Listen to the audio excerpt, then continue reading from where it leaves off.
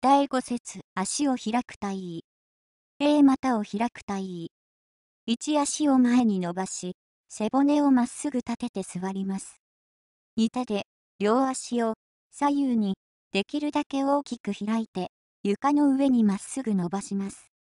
3腕を左右に伸ばして、手のひらを膝の上に置き、両手で膝を押し、さらに足が開くようにします。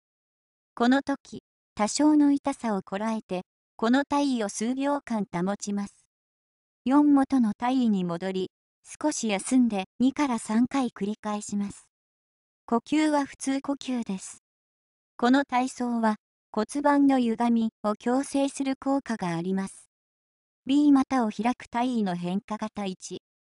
1足を前に伸ばし、背骨をまっすぐ立てて座ります。2手で両足を左右にできるだけ大きく開いて床の上にまっすぐ伸ばします。3腕を左右に伸ばして手のひらを膝の上に置きます。多少の痛さをこらえてこの体位を数秒間保ちます。4両手を前方に伸ばし手のひらを揃えて正面の床の上に置きます。両手のひらを息を吐きながら、ゆっくり、前方に、床の上を滑らせていきます。可能なら床に額がつき、状態が床に伏してつくまで全こごめする冷まします。通常は、そこまで全こごめするのは不可能ですから、可能な範囲までの前こごめで結構です。この体位を10から20秒間くらい保ちます。ご静かに息を吸いながら、ゆっくり、状態を起こし元の体位に戻ります。少し休んで2から3回繰り返します。C 股を開く体位の変化型に、1足を前に伸ばし、背骨をまっすぐ立てて座ります。2手で両足を左右にできるだけ大きく開いて床の上にまっすぐ伸ばします。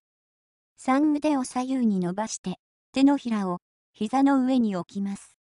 多少の痛さをこらえて、この体位を数秒間保ちます。4両手で両足を掴んだ姿勢で、息を吐きながら、ゆっくり上体を前屈させていきます。可能なら床に額がつき、上体が床に伏してつくまで全こごめするようにします。通常は、そこまで全こごめするのは不可能ですから、可能な範囲までの前こごめで結構です。ご静かに息を吸いながら、ゆっくり、状態を、起こし元の体位に戻ります。少し休んで2から3回繰り返します。D 股を開く体位の変化型3、猿王の体位。1正座して、両手の手のひらを体の左右の床の上につけます。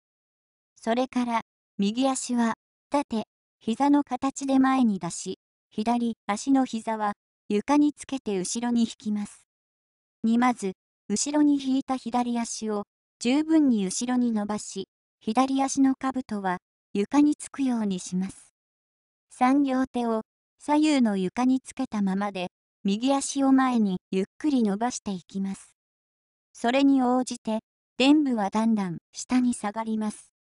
下陰部が床につき、右足は前方、左足は後方へ伸びきれば体位は完成しますが、はじめ、は、ここまでは無理で、会員部は床から離れているのが普通です。可能なところまで臀部を下ろしたら、その位置でしばらく静止します。この時、両手を床につけて支えていないと、過度に子が進展されすぎて怪我をします。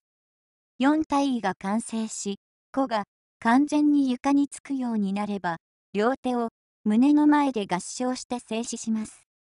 5元の体位に戻り、少し休んで2から3回繰り返します。